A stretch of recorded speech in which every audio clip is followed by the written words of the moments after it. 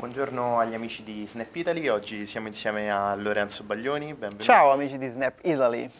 Allora Lorenzo, oggi ti vediamo rilassatissimo, ce lo dicevi anche tu, anche se in questi giorni, insomma anche sul palco hai avuto un'ottima padronanza, sì. quindi inizierei chiedendoti com'è stata questa esperienza, questo Sanremo, questo primo Sanremo per Lorenzo Baglioni. Ho scritto prima su Facebook che mi sento un po' come hai presente quando torni dall'ultima gita in quinta liceo e sai che quella sarà la tua ultima gita? Ora io spero che questa non sarà l'ultima avventura di questo genere, però è stato talmente figo, talmente bello che mi sento un po' come quando sei in pullman in fondo e parte i migliori anni della nostra, sento un po' quel mood lì. E qual è stata la prima cosa che hai pensato ieri sera, finita la tua esibizione e poi magari finita anche la serata?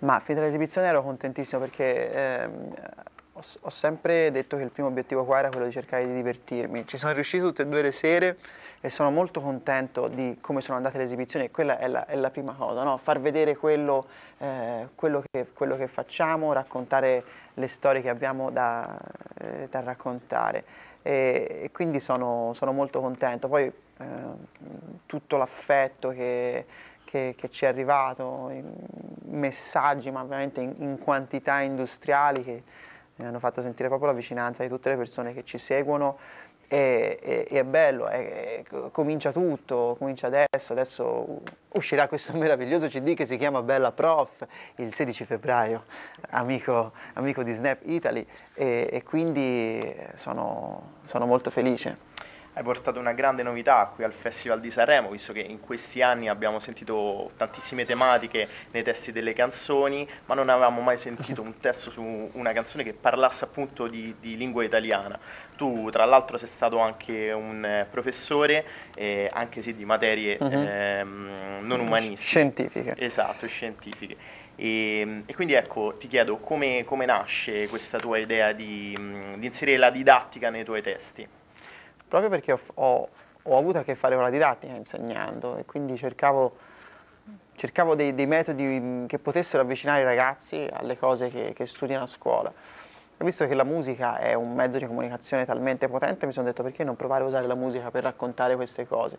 E da lì è nato il CD Bella Prof, che uscirà il 16 febbraio in tutti i negozi di dischi e nei digital store, che sono 12 canzoni eh, didattiche, ognuna su un argomento didattico eh, diverso. E, um, ci siamo divertiti tantissimo a fare, a fare questo disco perché ehm, è, è, molto divertente poi il contrasto che si crea quando tu metti una, una canzone molto seria, molto sentita, con delle cose invece molto tecniche eh, che siamo considerati a vivere come cose molto fredde, no? Quindi certo. quando gli dai tutto quel pathos, eh, l'effetto diventa eh, buffo. Infatti la tua ironia sicuramente è stata un'arma in più in questo festival eh, di Sanremo. Certamente mh, è una canzone che nasce anche, immagino, dai social, visto che negli ultimi anni abbiamo visto tantissimi meme proprio sull'utilizzo del Assolutamente. Ass- e... Hai detto bene perché ehm, è, è, diventato proprio un cliché, cioè è diventato, io, anch'io quando mi venne in mente questa cosa qui chiamai mio fratello Michele e gli, e gli citai proprio questa cosa, mi fa piacere, cioè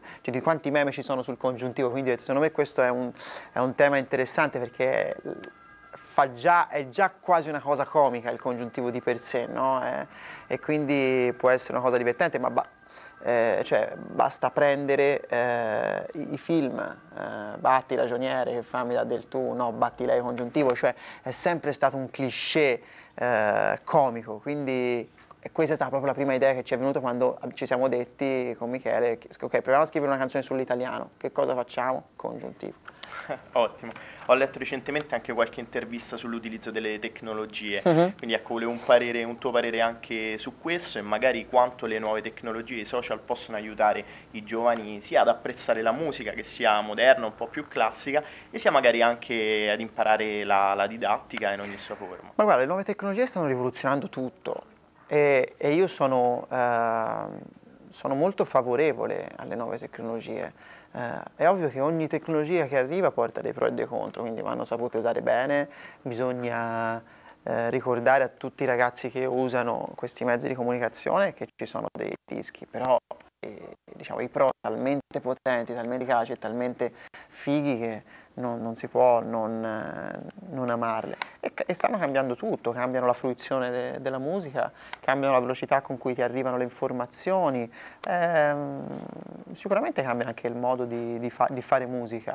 Eh, probabilmente le canzoni, anche un, un, progetto del genere è molto legato anche, anche al web, a parte che nasce sul web, però effettivamente probabilmente... È, mm, fa anche un po', cioè si colloca bene in questo, in questo momento storico, magari qualche anno fa era, era meno, meno efficace. Prima di chiudere, noi ci occupiamo di Made in Italy, quindi non posso non chiederti che rapporto hai con l'Italia, con il nostro paese e che rapporto hai con, con la tua città. Bah, intanto eh, ho fatto una canzone che è una canzone d'amore per la nostra lingua, questa è la prima cosa. E, e non da esperto, perché io sono tutt'altro che un esperto della lingua italiana, sono uno che ama il, il proprio paese e la propria lingua.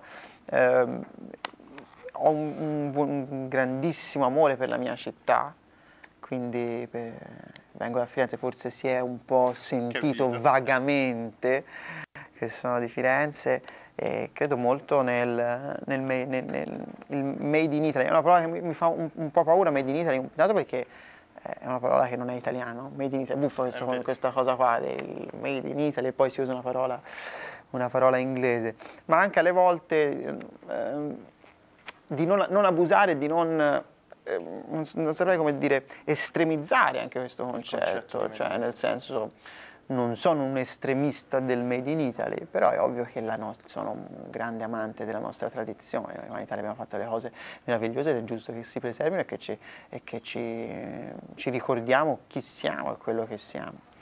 Noi ringraziamo Lorenzo Baglioni, in bocca al lupo per eh, le tue prossime attività e voi continuate a seguirci su Snap Italy, il Made in Italy, come non lo avete mai visto. Grazie ragazzi, ciao. Grazie